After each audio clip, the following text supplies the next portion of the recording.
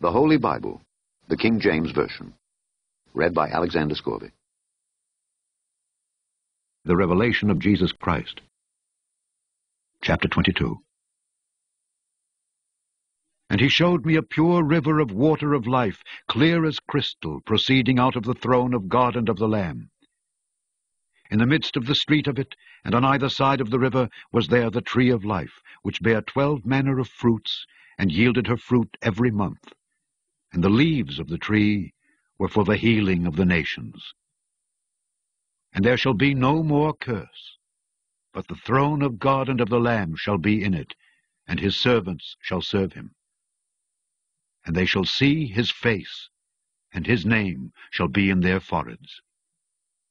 And there shall be no night there, and they need no candle, neither light of the sun.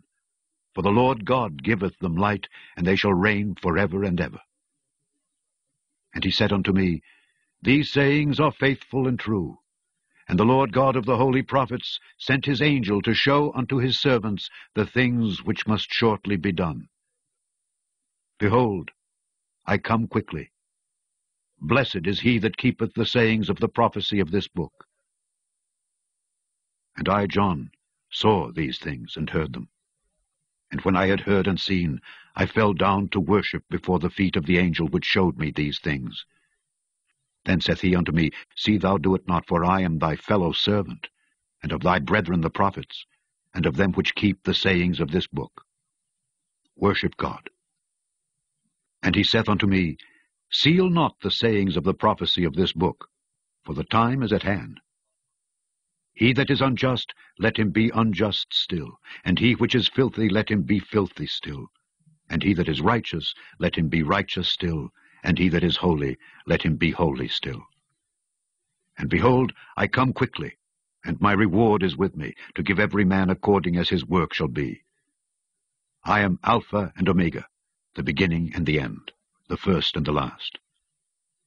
Blessed are they that do his commandments, that they may have right to the tree of life, and may enter in through the gates into the city. For without are dogs, and sorcerers, and whoremongers, and murderers, and idolaters, and whosoever loveth and maketh a lie. I, Jesus, have sent mine angel to testify unto you these things in the churches. I am the root and the offspring of David, and the bright and morning star. And the Spirit and the bride say, Come. And let him that heareth say, Come. And let him that is athirst come. And whosoever will, let him take the water of life freely.